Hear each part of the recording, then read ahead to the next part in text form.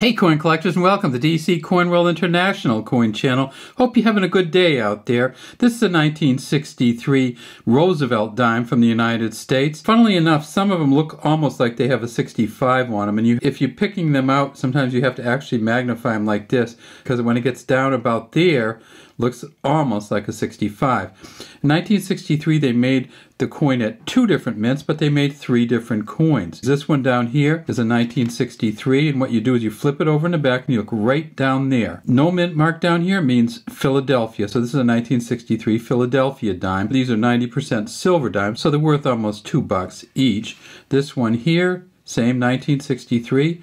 We flip it over and we see this one has a D. That means it's from the Denver Mint. And this one here is really shiny. And what that's going to tell you in almost every case is that this is a Philadelphia coin which is a proof coin. Let's flip it over and see.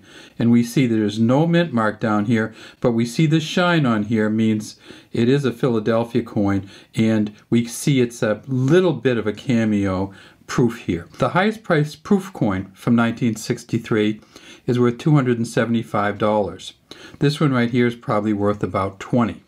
But if you can get the other Philadelphia coin in a full bands or full band lines version of it, this coin from Philadelphia can be worth up to $6,500. At the Philadelphia Mint in 1963, they made 124 million general circulation coins. At the Denver Mint, which is this one here, they made 421 million. They found a mint state 67 plus, valued now by PCGS at 35 $100. Have a great day from DC Coin World International Coin Channel. We'd love to have you subscribe to our channel and leave any comments you have in the comments section.